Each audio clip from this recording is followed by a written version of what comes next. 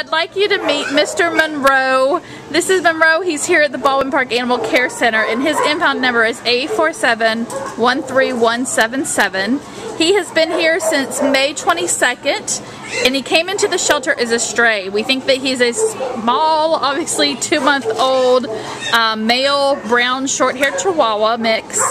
Um, he is going to be available for adoption on the 27th, so just a few more days on Tuesday.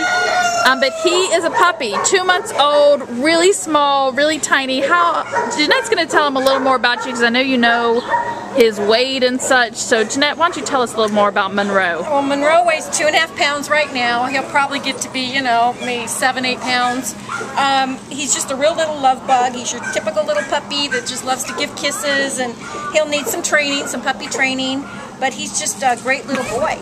He's just friggin' adorable. So please come down and meet Monroe and take him home with you. Um, as you heard, he won't get to be that big, we don't think.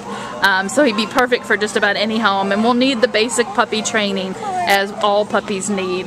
Um, again, his impound number is A4713177. Come down and meet Monroe, our snuggly little puppy of the day.